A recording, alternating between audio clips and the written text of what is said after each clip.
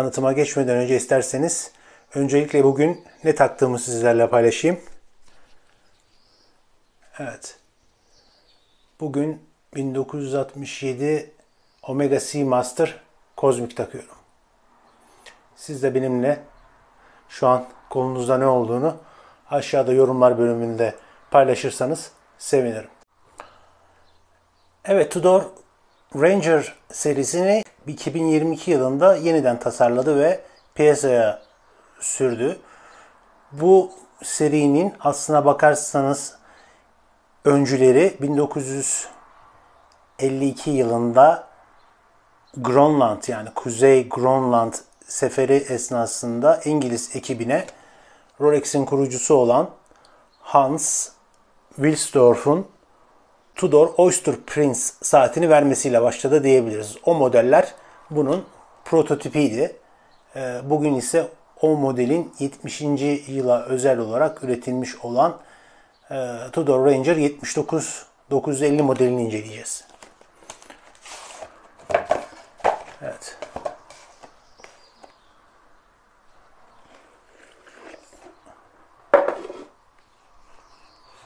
Standart Tudor kutusu. Evet. Açalım şöyle.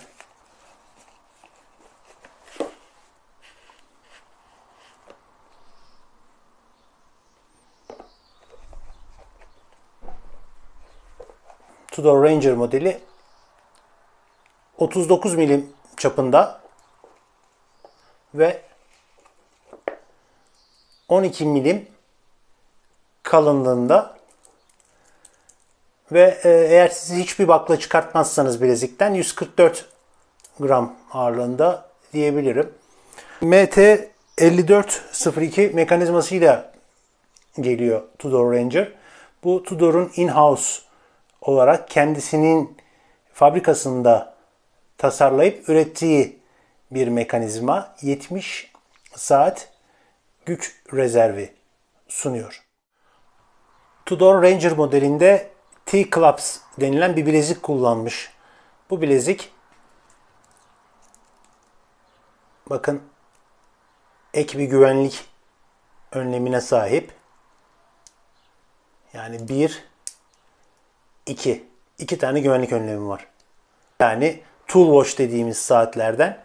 Dolayısıyla sıcak havalarda, soğuk havalarda e, zaman zaman bileziğe ince ayar gerekebiliyor. Bunu da kolaylaştırmak adına bakın şurada yaylı bir mekanizma var. Bakın şöyle gidip geliyor. Çok güzel bir özellik. Sıcak havalarda terlediğiniz zaman şurayı şöyle bir miktar açabilirsiniz. Ya da şöyle soğuk havalarda kısabilirsiniz bileziği. Rolex Explorer 36 mm çapı tercih ettiğinde e, birçok saat sever buna hayal kırıklığıyla baktı, yaklaştı. Bazıları da çok tabi sevindi. Çünkü 36 milim bir miktar küçük kalabiliyor. Tudor Ranger modelinde 39 milimlik bir çapı kullanarak bu boşluğu aslına bakarsanız doldurdu diyebiliriz. Zaten Rolex'in 2023 yılında tanıttığı yeni Explorer serisinin de 36 milimetreye ek olarak 40 milimetrede geldiğini hatırlatmakta fayda var.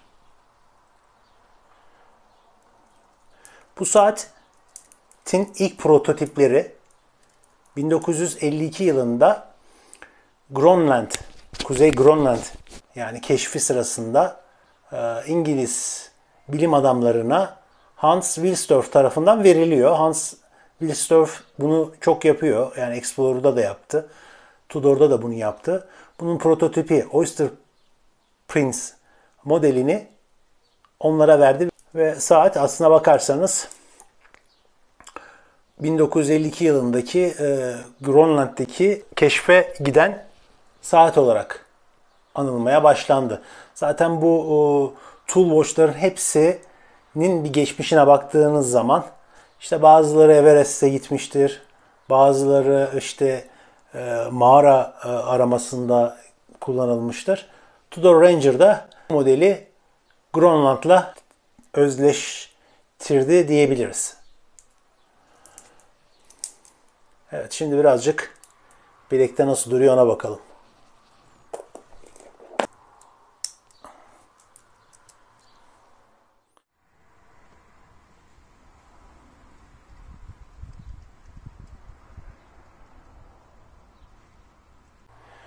Tabi bu saatlerde önemli olan saatin çok kolay bir şekilde okunabilmesi. 3, 6, 9 ve 12 indisi hemen göze çarpıyor ve saati siz baktığınız anda ister karanlık, ister gündüz, zorlu koşullarda dahil olmak üzere çok rahat bir şekilde okuyabiliyorsunuz.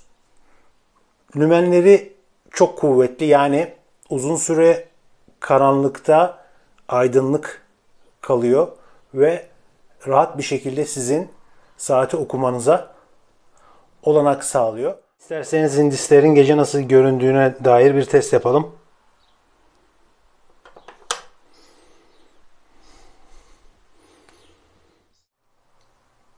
Tudor Ranger MT5402 mekanizma ile beraber geliyor. Bu mekanizma 70 saat güç rezervi sunmakta. Herhangi bir komplikasyon yok. Sadece saatten oluşan bir mekanizma. Evet, şu kurma kolunu şöyle açtığınız zaman kendini bırakıyor. Böyle saati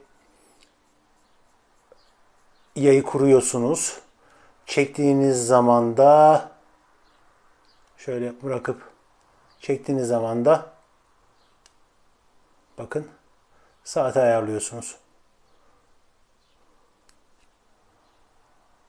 Şöyle kuruyorsunuz saatin güç rezervini.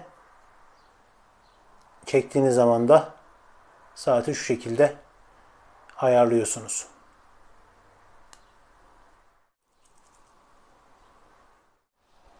Saatte kullanılan indisler bej renkli Super Luminova ile boyanmış durumda. Bej renk saate retro bir hava kattığını söyleyebilirim. Yine anti-reflektif kaplamalı safir cam AR kaplamalı ve yine e, arkada ise metal bir kapak. Yani mekanizmayı göremiyorsunuz. Benim bu saatte beğenmediğim özelliklerden bir tanesi ya biraz bence şu kadranın orta kısmı boş. Çok sade. Orta kısmı boş kalmış diyebilirim. Ranger yazısı küçük kalmış. 3, 6, 9 ve 12 indislerinin e, boyama ile yapıldığını görüyorsunuzdur. E, onu da beğenmedim. Yani boyama olmayabilirdi. Oraya e, Rolex Explorer'daki gibi 3, 6, 9 metal indisler ve içi sadece boyalı şekilde konulabilirdi. Saati daha şık gösterirdi diyebilirim. Kutuya geri dönecek olursak biraz daha bakalım kutuda neler var diye. Önce de bahsettiğim üzere mekanizmanın zaman tutması sertifikalı. Tabi üreticiler bu sertifikasyon için ciddi paralar harcıyorlar. Bunları da elbette kutulara bu şekilde koyuyorlar. Çünkü onlar için hem bir prestij göstergesi hem de biz saat severler için de kullandığımız mekanizmanın bağımsız bir kuruluş tarafından test edildiğini, test edildiğini bilmek güven verici. Evet. Uluslararası garanti kartı. Manuel.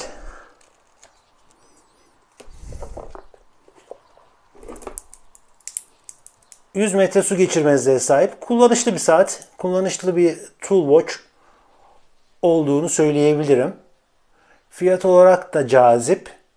Eğer siz de bir Tool Watch koleksiyonunuza eklemek istiyorsanız göz önünde bulundurabilirsiniz. Tabii ki alternatifler var. Farklı seçenekler var. Fakat bu fiyat bandında in-house mekanizmalı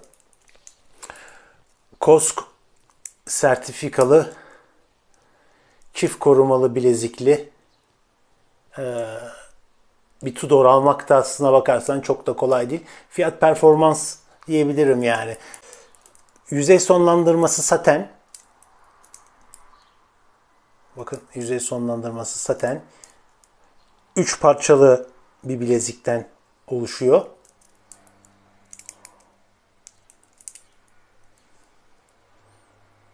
Şık bir saat diyebilirim. Evet.